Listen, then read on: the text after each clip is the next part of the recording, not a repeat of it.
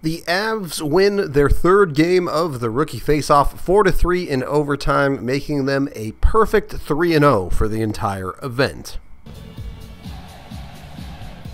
I'm gonna be real with y'all. The final score of these games doesn't really matter all that much. The winning or losing doesn't really all matter all that much. At least not to me.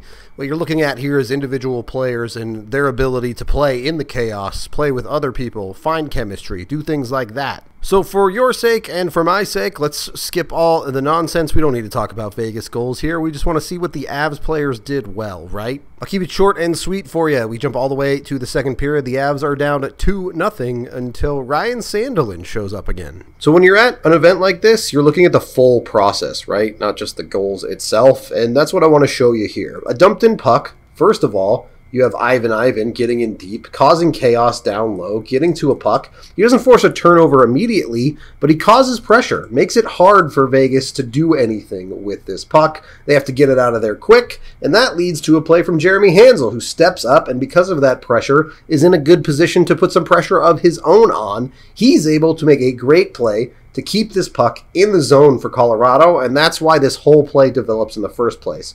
You also get a great step up from Rollins there, forcing another turnover. All of this combines to an Avs possession in the offensive zone. Every bit of it mattered. From there, they kind of reset. They get back out up high. Hanzel does a good job of taking the space giving, given to him before he sends it back over to Sandelin. Sandelin then fires a puck from out high. Gets a little bit lucky on the way through, but it goes in.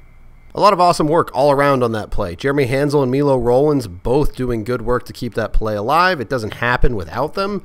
And then you get a bit lucky on the finish. You take those. The Avs keep rolling, and we finally see why Oskar Olausson was a first round pick.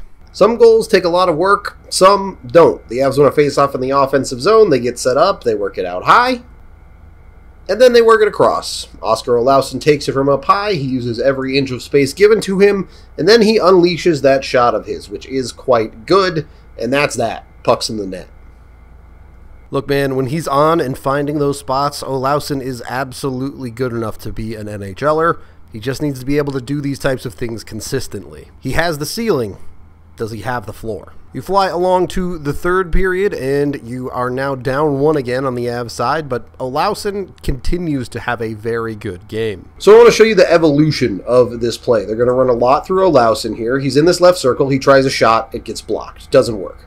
A bit later, they run it from out high with Olausson. He gets to walk in. He tries a shot, and it gets to the net, but it doesn't go in. So that's two attempts. Then they try to wind it up again for Olausson to walk into one. Another one to the net, but doesn't go in. That makes three. They find him again, but he figures he'll try a clapper this time because why not? Now he's on four attempts. He's clearly showing he's going to shoot it every time. And then the play that gets it done is exactly what you'd expect. Look at the team selling out, trying to get back, expecting Olausson to shoot it again. But he was never shooting this. The pass across was always his plan here. He's got him fooled, and it pays off. There's skill there, and I think there's intelligence there for Olausson too. That has a package that can work in the NHL. I think sometimes I'm a little bit hard on Olausson because of the lack of consistency at times and some of the issues in his game.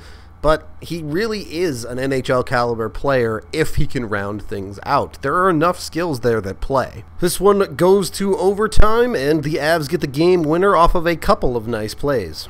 By the way, shout out to Eddie from the Cake Eaters podcast for again getting me these clips while I was at the arena. Big props to him. This play starts with Hanzel. He goes in behind his own net and throws a little bank pass up off the wall and through to Ivan, who sets himself up. He beats his man. It gives the Avs an advantage. It's currently four on four in this overtime OT because of penalties, so it's a bit of a weird spot, but this gets the Avs sprung for a three on two, or at least partially one. Ivan's able to get the blue line and then throws one YOLO, sauce backhand across to Saige Weinstein. It finds its way through. Saige does a great job to collect that pass, control it, and just throw it towards the net, and it's a perfect shot, bar down far side. Avs win. Look, I'm going to be real with you. Saige Weinstein is not making the Avs, certainly not this year, but he's an 18 year old kid that puts that game winning goal in his back pocket that could be a first step to a pro career down the line for someone like that. And more importantly, the guys behind that play in Hanzel and Ivan Ivan do really help the Avs directly. Ivan with the Eagles, and for Hanzel, who knows where he ends up this season, but is still part of the Avs prospect pool. Overall, there's a good chance that unless you watch a lot of AHL hockey, you won't see the fruits of this tournament very much this year, outside of maybe Malinsky. But still, there is a lot of good progress shown for the depth of the Avs organization at an event like this, and then you start to add the players who weren't here. Gulyayev, Behrens, someone like Foudy, who would have been at this if he was healthy, Calum Ritchie, who wasn't healthy for this, and you start to see a decent prospect pool come together. It's not going to blow anyone away. It's not loaded with high end first round picks or anything, but it's something that hopefully the Avs can get a handful of stuff out of.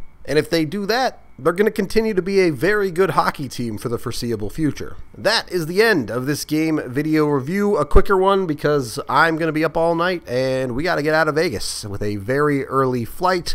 So I hope you enjoyed the abbreviated version.